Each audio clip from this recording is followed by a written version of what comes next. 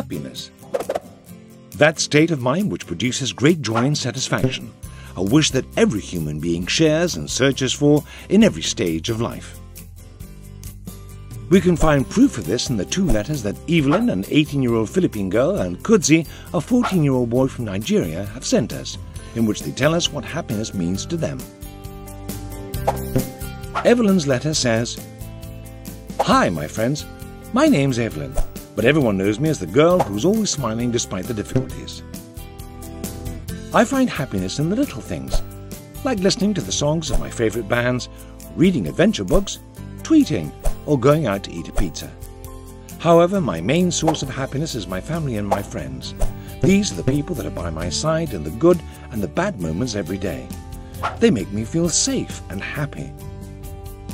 Playing trivial, watching TV, sharing a meal, or chatting about any subject.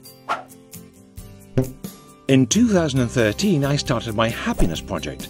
I wrote the names of the people and things that made me happy on a couple of pieces of paper and kept them in a box.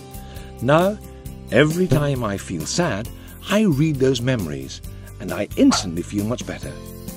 All I want in my life is to be happy. It doesn't matter what life throws at me, I will always choose to be happy. A big hug from the beautiful Philippine Islands. On the other hand, Kutsi's letter says, Hi, my name's Kutsi. I feel happy when I get good school marks. I'm the eldest in my family and my parents have struggled a great deal to give me a good education. The pride they feel when they see my grades is my way of thanking them for their effort and dedication. I also feel happy when I go out with friends to play soccer or go to the cinema.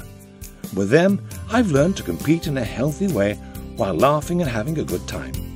All these moments I keep in my memory, help lift my spirits and overcome difficult times. Thanks to these people and memories, I see life from a positive perspective, and I wake up every morning knowing that this life is worth living. Greetings from Abuja, the capital of the great country of Nigeria. As Evelyn and Kutsi have written, happiness begins inside each one of us by surrounding ourselves with people that will help us reach this feeling. This is why we can all be happy. What about you?